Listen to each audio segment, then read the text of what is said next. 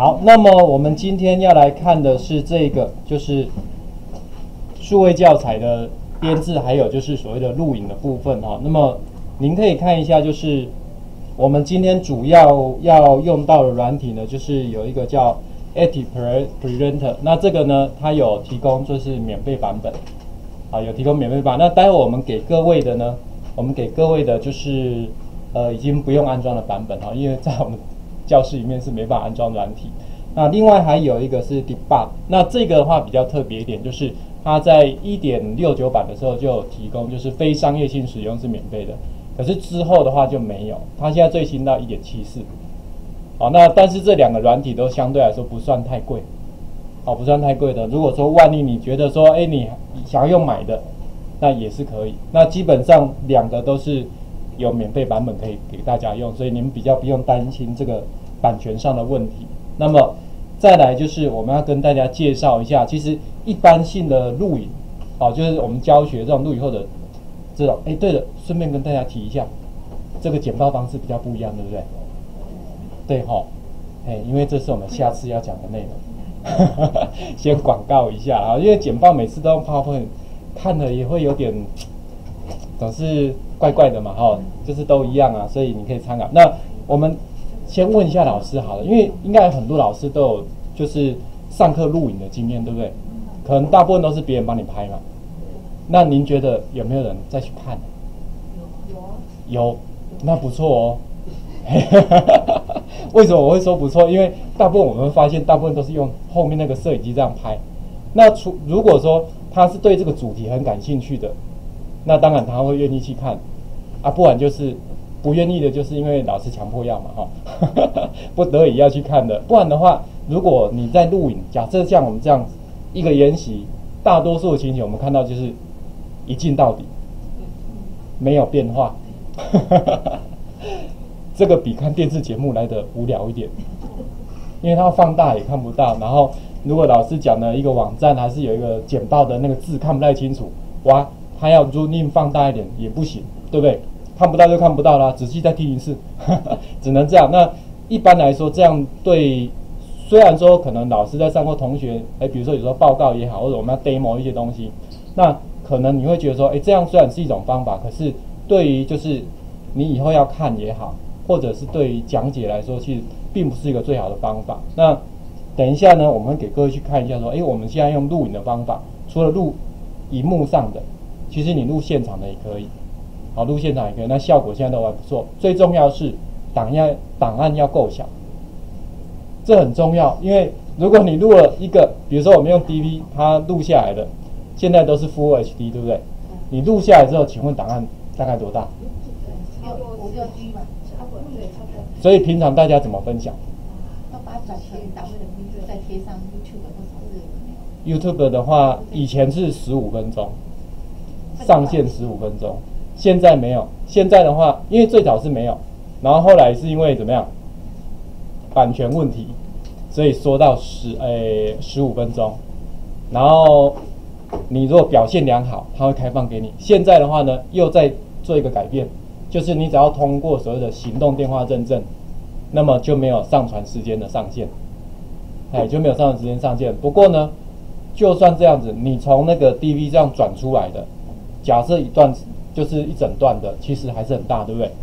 你只会用学校的网络上传嘛，因为家里面更慢。光上传你不要说两一百 mega 了，我们说一 G 两 G 要不要很久？因为你下载需要一段时间啊。学校的频宽才比较够嘛，哈，放在宿舍晚上没人管它嘛。所以说其实这个就比较难。那我们这个今天介绍这两个录影录下来。基本上大概是一分钟一到两美感，差很多吧。所以其实我上一整天下来的课大概是两百美感到三百美感就解决了，哎，所以是非非常快的哈。那我的这个研习的影片我都放在 YouTube 上面，我们有自己开电视台，好，所以我们今天研习会把它放上去啊。那我先跟大家介绍一下，就是比较常见的录影的类型，大概就是第一种叫全动式的，也就是一对一的，就是那一比一的。反正就是当做影片直接录下来，管你做什么动作，全部都录，全都录那一种的。那另外一种就叫影像式的，那影像式的就有点改进，因为其实很多时候我们在这种电脑教室或者在这个教室里面上课的方法，其实老师大部分都是像我现在这种方式，就是一个画面停在那边，然后去讲解这些内容。可能一个主题嘛，我们就要讲一段时间呐，所以它不像电视节目说，哎，只那个画面一直换一直换，或者是像我们看影片这样子。那所以呢，其实有一种改善方式，因为如果你全部都录的档案，确定一定会比较大嘛。那么你如果说，哎，我在讲这一段的时候，我只录声音，有没有发现就会小很多？这个画面我拍下来，变成照片就好了，对不对？所以这种叫做影像式的，等它影像式，然后搭配你的声音。那再帮你模拟你的滑鼠啊，比如说有些时候我们总是要移动一下、操作一下啦，那它就模拟你滑鼠的移动，点下去啦，按哪里啊？那这样子的话，一般来讲，这样档案也会比较小。好，所以我们讲的今天介绍两个里面，一个呢是只做全动式的，另外一个就是两个都可以做的。好，所以看老师您的需求。那再来就是像我刚刚讲的，就是有些时候，哎，总不可能每次都是用影像式的，那我万一。上课的时候，比如说老师来上一段那个新闻英语，可是要看影片啊，对不对？你可能看一段影片呢，那总是要录下来吧，对不对？那这个时候就可以全动式跟影像式混合在一起，它可以它有自动判断的模式，你也可以手动的方式去做，就是决定它啊。比如说我确定了这个画面我要抓，或者是这段影片，嗯，我知道我就是一定要用录的才录的完整，你可以强迫它，我这一段就是用录的。这样也可以，好，那这个是比较常见的目前三种方法。那这个目前都有软体可以做，也都刚好有免费的。那比较常见的呢，就可以像我们现在这样子，就是可以做互动式的教学，也可以。比如说您录下来之后，我想要测验一下这个同学听过了之后会不会，对不对？你可以做一些测验，就互动的，直接发布出去就好了。那这个呢，在我们的那个 Active Presenter 这一套，它就可以做所谓的测验，那也会跟 Scon 可以做结合，就是我们那个数位学习的部分，它可以做评分，好，这也是一个方式。那再来，当然就是我们刚刚讲的荧幕录影的，对不对？好的，荧幕录影，或者是像我们现在，哎，我就直接录现场的影片，也是可以的。这样您大概了解意思了哈。所以呢，我们看到这样之后，我先回到我的这里来哈。如果说有些老师，您比较习惯习惯上课的时候要有画面的，有没有？几家？在这里哈。哎，我把它放远一点点。好，那这个呢？其实我可以把它稍微改变一下哈。这里，我们在这边，它像我就先把这个把它藏起来，然后放在最上面。那这样你剪报的时候就可以看到你了。如果你有需要这种需求的话，因为有些那个录影导演他他是这样嘛，对，就简报的时候，他会让你可以人出现在上面的。那我们自己来也可以嘛。哎，因为其实说真的，我不太喜欢上镜头啦。哎，那那大概是像这样，所以你也可以自己决定啊。有些时候我不要的时候，对不对？那我现在点到这边就没有。但是如果是我，我可以让它在最上层显示，永远就挡在那边。你可以自己决定那个视窗要多大多小，你要大一点、小一点，都可以自由决定哈。好，那么再来呢？看完这样子之后呢，我们就来看看哦，几个比较常见的这个付费的，我们先讲要花钱的，要花钱的。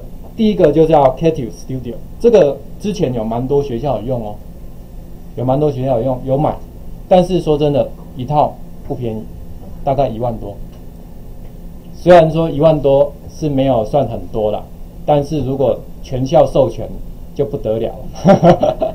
所以如果你单一个人买，那是 OK 啊，对不对？可以接受嘛。可是全校买的那个就这个学校的负担就不见得嘿。好，那另外一个 Adobe 也有出一套，Adobe 出这一套就是我们刚刚讲的，就是可以做一些互动的测验啊，或者影像式的录影的。那它刚推出来一点零的时候，大家还蛮惊艳的哦。哎，原来录影也可以这样用，因为以前我们录影都是直接全部都录嘛，所以一录下来，哇，那个档案都很大。好，那这个呢，它推出来之后，大家蛮看好的。可是后来它有个缺点，就是速度不是很快，蛮慢的，因为它最后发布出来就是 SWF，也就是我们讲的 Flash，因为它以前就希望这个东西能够跟 Flash 结合嘛。好，那它现在最新版到好像是到六六，只是价格又比上面那一套再更贵一点，所以后来大家不太想买了，因为觉得发现说哇这样好贵哦，投资成本太高。好，投资成本啊。另外一个 BSR Screen Recorder 这个，其实我有试过也还不错啦，只是它只有试用版，好，只有试用，就是录影的品质还有档案大小都还蛮不错的。但是缺点就是它没有，并没有提供这个免费版本，好，你只能试用而已。好，那我们来看看免费的，就是我们今天要跟大家介绍的。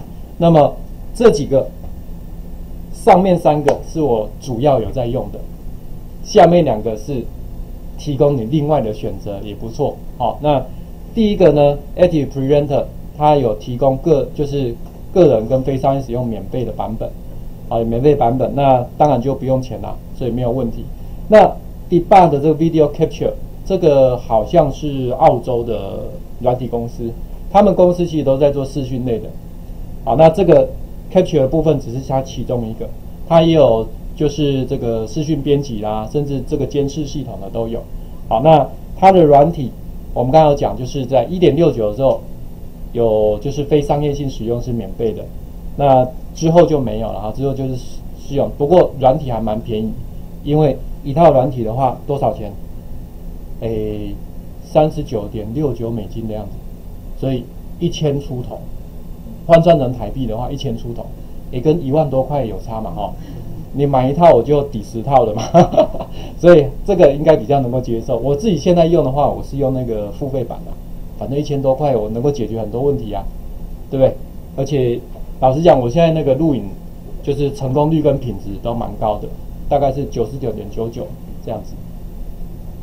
因为用自己 notebook 录嘛，你最熟悉。以前我是比较随性，就是到那边再录啊，就是用那边电脑录。但是我发现说，你如果不去掌控一下，就是我们录音的品质，你知道为什么我要自己弄多用一个这个 notebook 也有啊，对不对？或者我们到每一台电脑不是都有吗？插个麦克风就好了。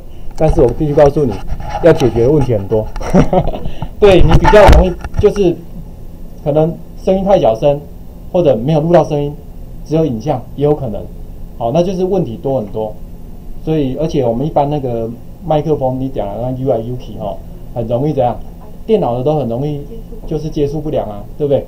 所以用这一种会比较好。等一下我们给各位看一下，你最好是买那种就是免 driver 的。即插即用比较好，不然你到哪边，假设不是你自电脑，还要帮人家装一下 driver，人家会怪你。像我们这里连装都不能装，对不对哈？所以就比较麻烦。那前面两套介绍完了之后，我们来看下面一套。其实我最早期刚开始用就是用 Web ES，那这一套其实也很不错，档案也非常小哦，档案也非常小。那它的缺点只在于说，因为它录下来的是它自己的格式。所以说要经过一个转档的动作，转档，所以多多的这个动作啊。那么如果是上面这两个话，基本上像 debug debug 的 video capture 是录完就直接可以看的，因为它就是标准的，就标准的 MP4 也好，AVI 也好，你都可以直接打开来看，就不用再经过转档的动作。但是品质都不错啦，好，所以这个是我们要跟会跟大家一个介绍的一个原因。那像在硬体的部分。像我刚刚讲的，你如果在买的时候，如果您不要做摄影，当然就买一个比较好的麦克风就 OK。好，那如果您要做摄影，事实上我这个大部分都没有拿来当摄影用，因为我是拿它来当麦克风用。它这里有麦克风，好，所以以前我刚开始是这样上，嘿嘿，不是拍这里，是 用这个录啊，那这样比较近嘛，哈，所以那个声音比较大声一点。那其实后来还好啦，哈，所以。你如果说你要买这个网络摄影机，建议就是买这个免驱动程式。大部分现在新的应该都绝大多数是免驱动程式，除非说您要的，因为现在那个网络摄影机还有一些有特殊功能，就是有的是像有些老师您如果是教那个需要放大的，我呃老师可能有听过那个实物投影机吧哈，肚子饿了就 没有啦，那个实体的投影机吧哈，但是那不是每个教室都有啊，对不对？你还要搬，有点麻烦。那有的摄影机它现在有类似像那个放大镜的功能，哎，可以放大到十倍、二十倍，那这样你就是可以做一些围观，好做一些围观。那那个部分可能你就必须要安装它的 driver。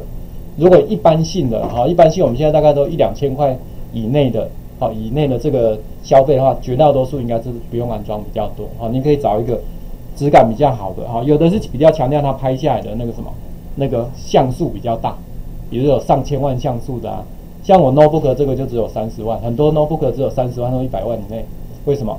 安内卡熊，好啊，所以 notebook 大部分啊，就是效果比较差一点。等一下我会让各位比较一下，我用 notebook 的，跟我用这个，这个是百万而已啦，这百万而已，好，而不是价格百万啦，像素百万啦，哎，那但是那个品质真的有差，所以如果您要拍现场的，哎，可能稍微像素在一百万以上，我们再看的话会比较好。好，那另外呢，像这个，像这个也蛮特别的。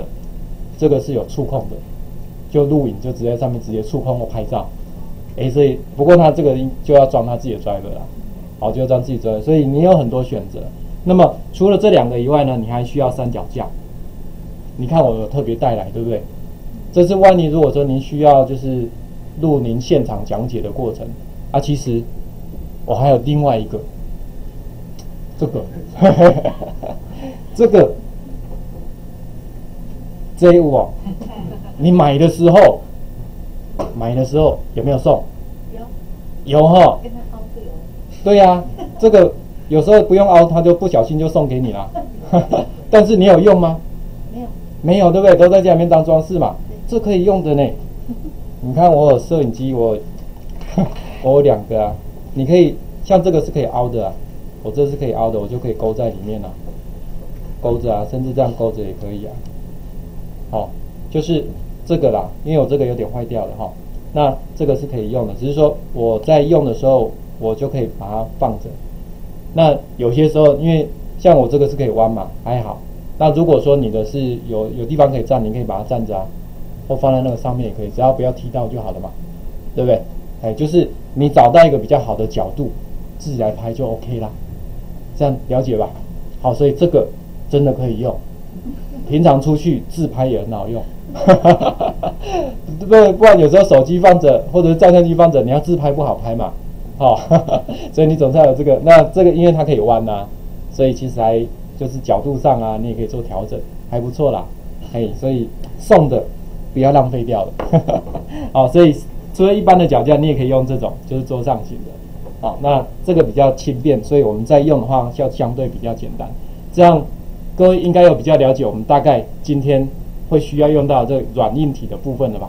好，那这一段我就先到这边，好不好？我们。